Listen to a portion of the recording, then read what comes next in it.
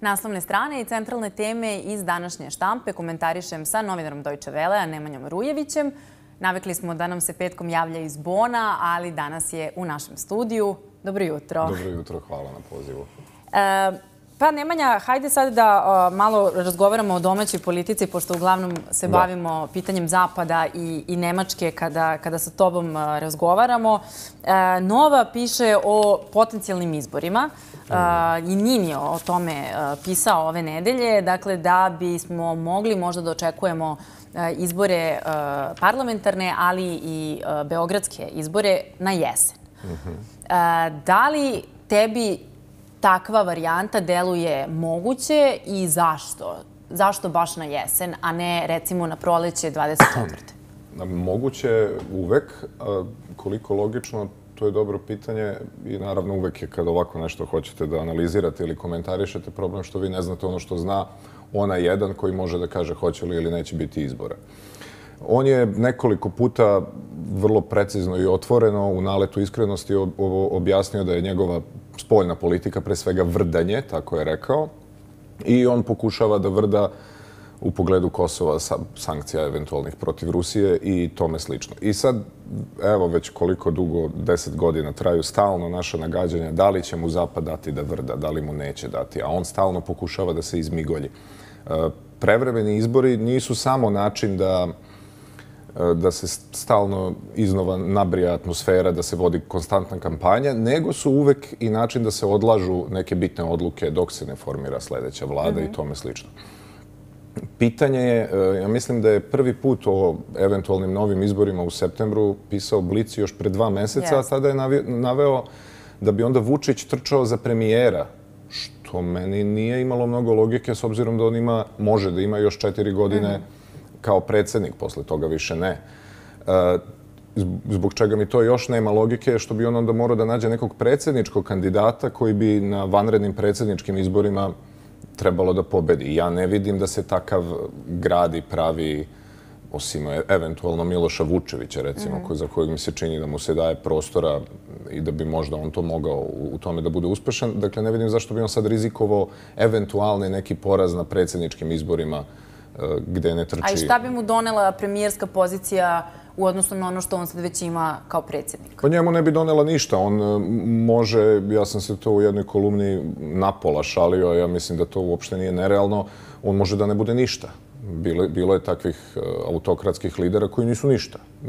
Vode možda partiju, a možda ne vode ni partiju, nego sede negde u senci i svi idu kod njih na ono, prijem, na audijenciju i onda on saopštava u stvari šta se radi. Dakle, nije to bitno. Jedini njegov problem je u tom pogledu što on mnogo voli da se slika i mnogo voli da ide pred kamere i što je to pametno za Srpsku naprednu stranku, jer narod voli da ga gleda. Oni su, mnogi njegovi birači su drogirani Vučićem i zbog toga on ne može da se skloni u tako, tako duboku senku, verovatno mu tako savetuju i ovi izraelski PR magovi. Dakle, vidjet ćemo da li će biti, bit će nekih vanrednih izbora, samo je pitanje kada, mm -hmm. da li ovako e sad, rano.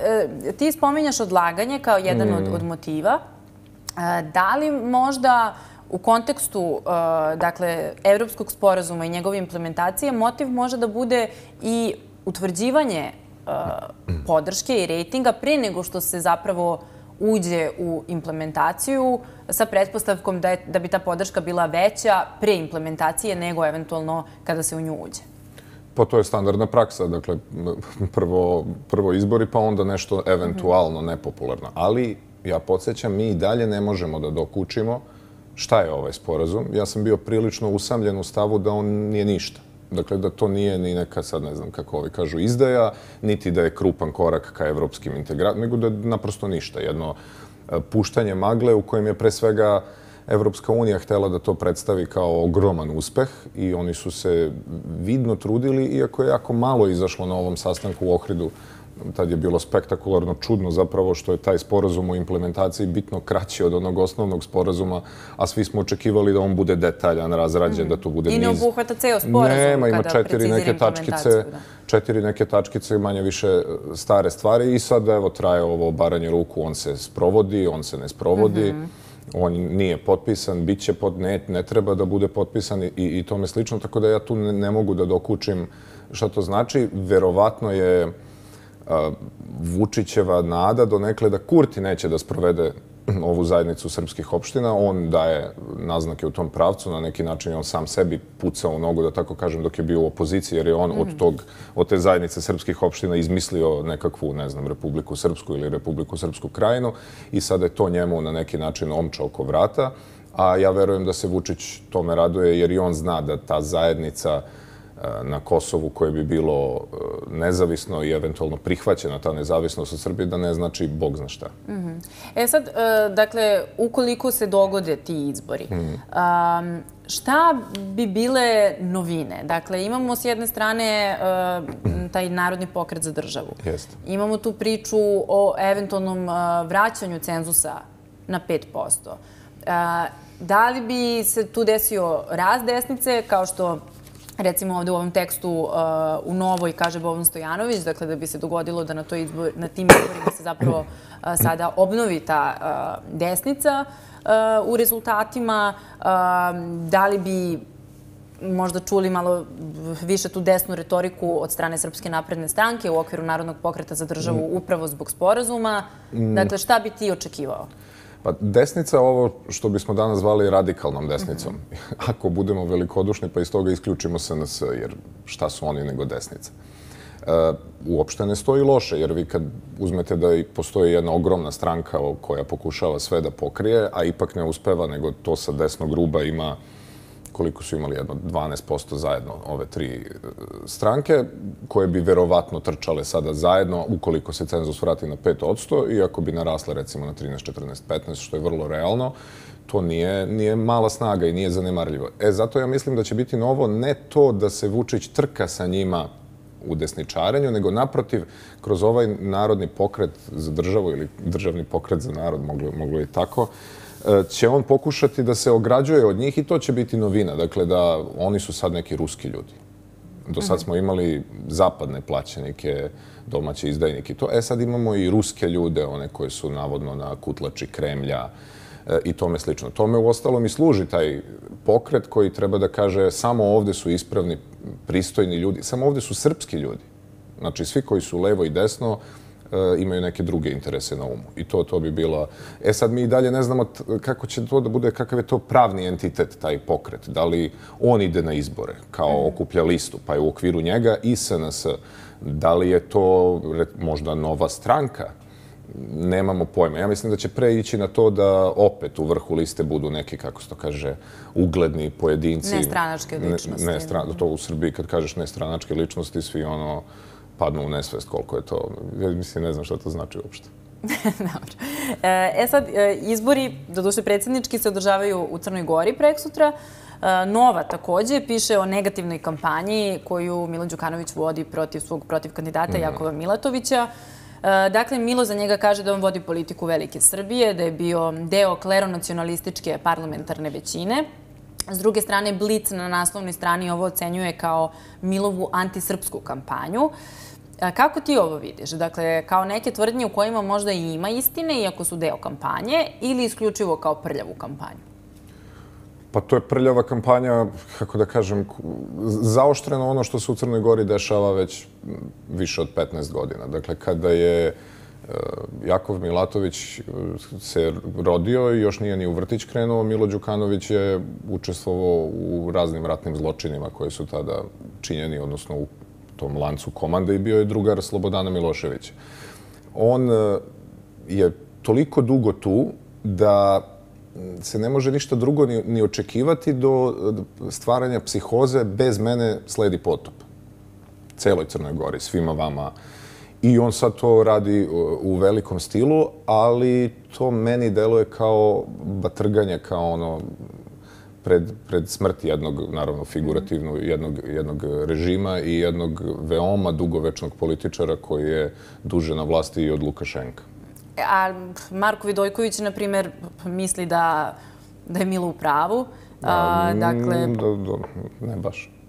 Pa, mislim... Danas je objavio kolumnu u kojoj kaže kao da, otprilike da misli da je Milo lopov, ali da je bolje lopov nego... Da, da, bolje lopov nego fašista. Dobro, to je figurativno, on se malo da, od toga on je ogradio. malo citirao, dobro, ali, ali u svakom slučaju ono što je rekao jeste da uh, je on neka poslednja slamka spasa građanske Crne Gore, ako sam ga dobro citirala sada. Dakle, uh, pa je li, mislim, da li postoji neka građanska opcija osim trenutne Pa, opcije Mila Đukanovića? je li otkud Jakov sad- Milatović građanska opcija? Pa da, Gori? otkud sad Evropa sad nije građanska opcija.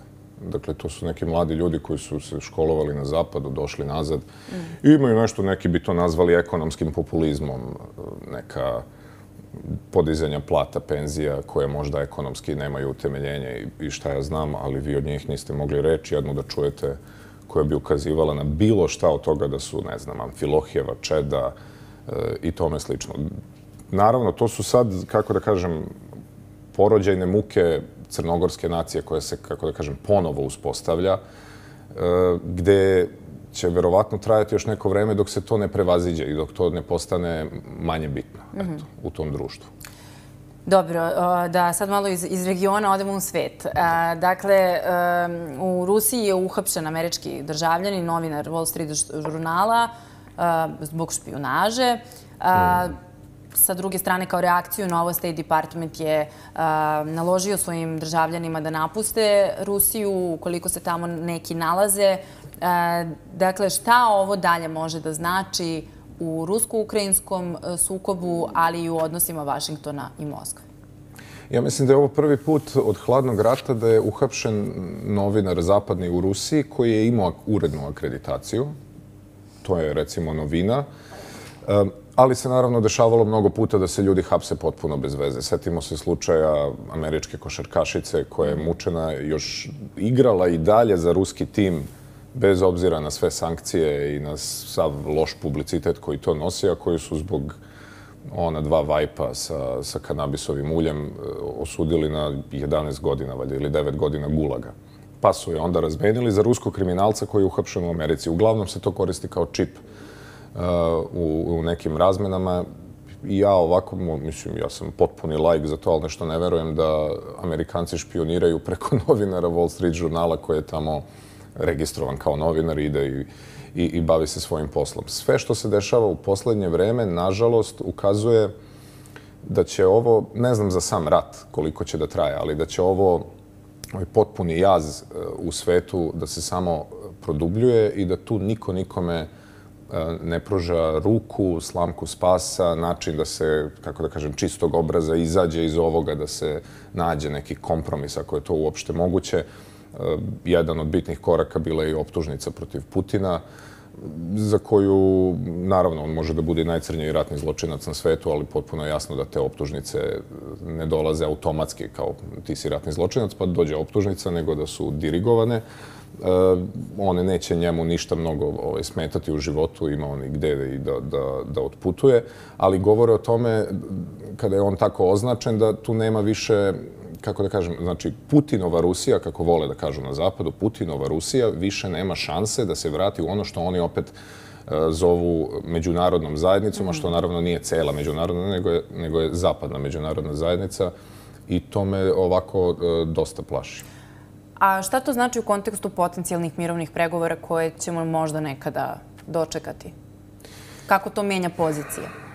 E, šuška se, i ne samo da se šuška, da su e, nemački kancelar Scholz i francuski predsjednik Macron pre, recimo, mesec i nešto, rekli Ukrajincima iza zatvorenih vrata sve ovo lepo što vi pričate javno, ali hajde da sad polako vidimo kako može da se dođe do mira i otprilike im poručili, valjda je i vama jasno, da, da ćete vi nešto morati da izgubite. Dakle, ona javna retorika, cela Ukrajina mora da se oslobodi, je možda, kako da kažem, zgodna kao borbeni poklič i za motivaciju građana i tako dalje. Vrlo je teško biti u ratu protiv agresora, gde se čitavi gradovi sravne sa zemljom, gde ima toliko mrtvih i izbeglih, a da vi kažete građanima, pa dobro, mi ćemo možda da napravimo neki kompromis, možda ćemo malo da damo neke teritorije, to naravno niko neće javno da kaže, ali se iza zatvorenih vrata intenzivno o tome priča ja koliko slušam ljude koji se razumeju i ova vojna zbivanja i tu zakulisnu diplomatiju, moglo bi biti da će ovo sad proleće, leto biti pakleno, a da onda, pošto je sva prilika da niko neće neke ogromne proboje da ostvari na frontu, da se onda od jeseni, kad krenu polako tamo čuveni mrazovi, e, da onda se sedne za sto.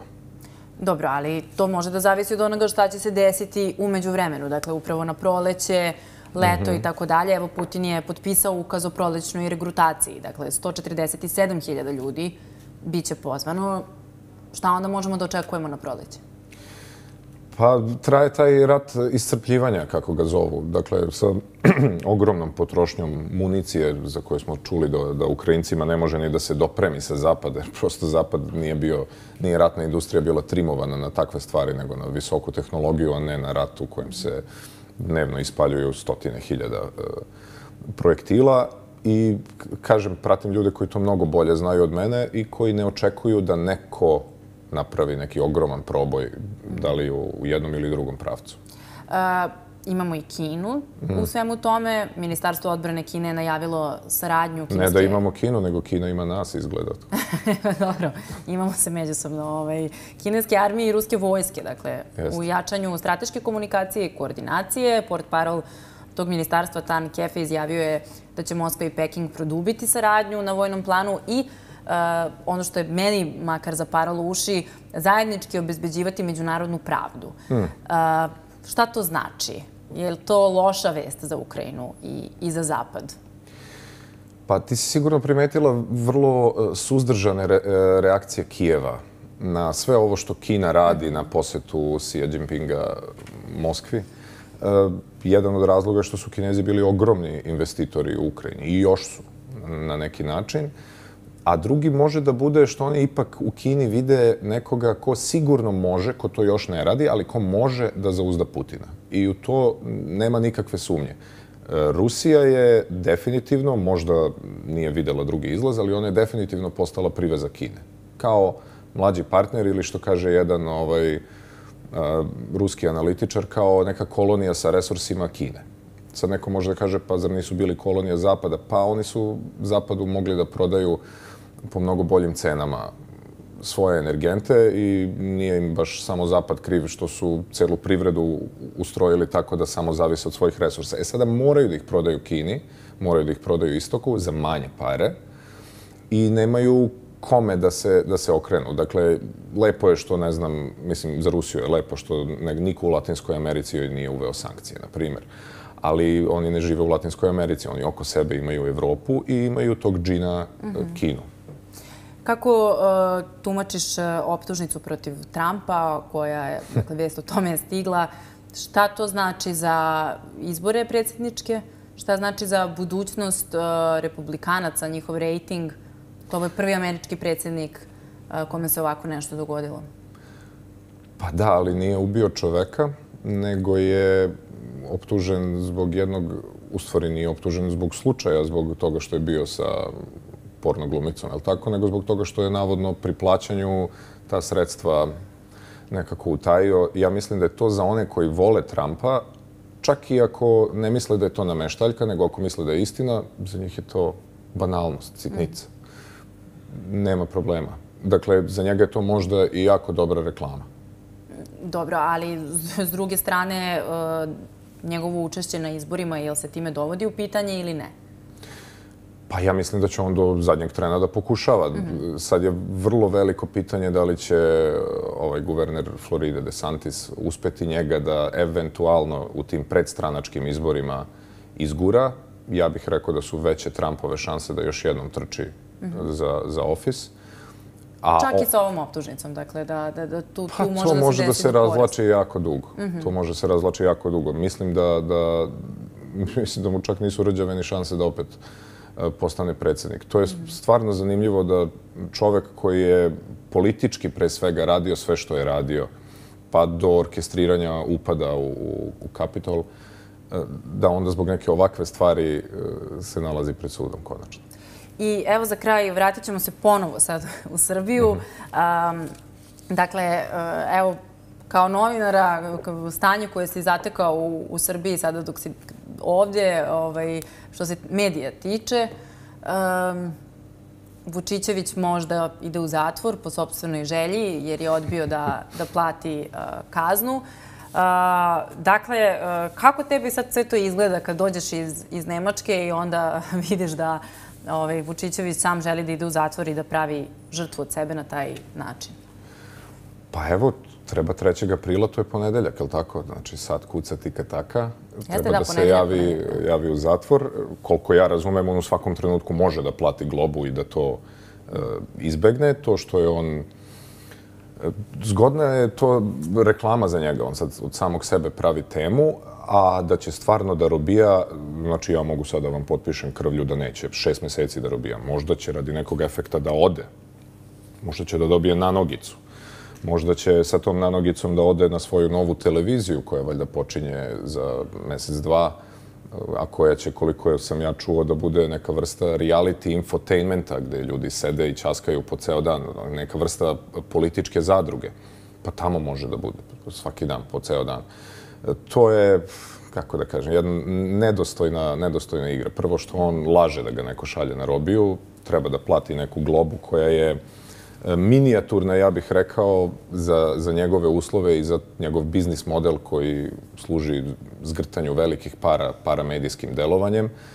Uh, eto, ali uvek je zgodno biti, biti žrtva, to je perpetuum mobile. Prvo, a, prvo radiš to što radiš, a onda kada te neko, a to je jedan od hiljadu slučajeva da se neko stvarno ima živaca, da se s tobom tera po sudu, da te prijavi i tako dalje, e onda ti kažeš ja sam žrtva žutog pravosuđa.